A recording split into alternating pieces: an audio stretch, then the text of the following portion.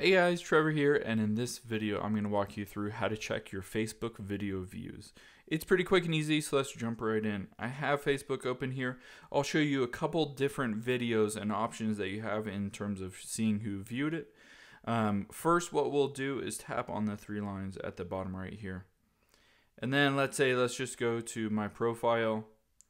And then if I scroll down, I will want to just find, you can tap on photos here and then at the very right you can see videos. I'll tap on that and say I want to click on one of these videos and see how many views it got. You can see at the very bottom it says the number 3 next to the two people. You can tap on that and you can see who commented on it on that this video and you can see the 3 but that's kind of the limit of what you can see in terms of who viewed the video. Of course, anybody that liked this video or anybody that um, commented on it obviously viewed it, but you can't see the long list of every single person that viewed it.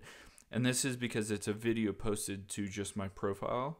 However, if you get out of here and we say we go back and just scroll up, here is an old story that I posted, and you can see 31 viewers at the bottom left here. I can just tap on that and it'll show me everybody that viewed it. So you can see exactly who viewed your video and all the video views on stories, but you can't necessarily see the full list if you just post a video on your, you know, say public profile.